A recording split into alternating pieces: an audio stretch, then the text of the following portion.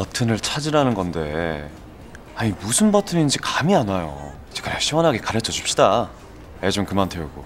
애가 탄다니 기분 괜찮네. 사람들은 모두 숨겨둔 버튼이 있어. 어떤 사람들은 외로움. 어떤 이는 어린 시절 상처. 공포. 열등감.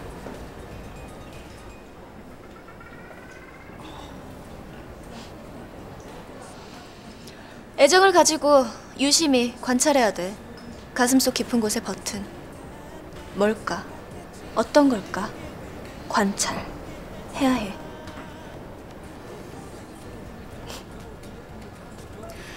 버튼을 찾는 건 결코 쉽지 않아.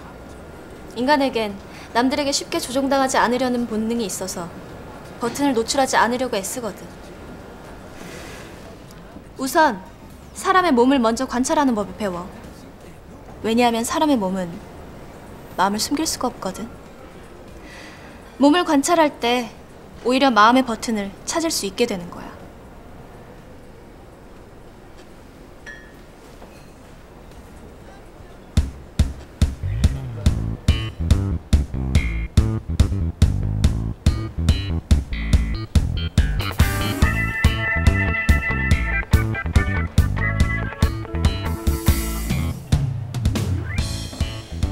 저 남자 여자랑 얘기하면서 고개 끄덕이며 웃고는 있지만 몸은 뒤로 젖히고 있단 말이야.